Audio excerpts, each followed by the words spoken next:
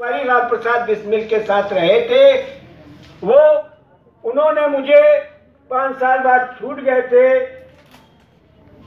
और उन्होंने मुझे मार्गदर्शन दिया। मैंने उनके मार्गदर्शन में सन इक्यासी से वही संस्था में चला रहा हूँ। और नेताजी के वंशज सब मेरे साथ रहते हैं।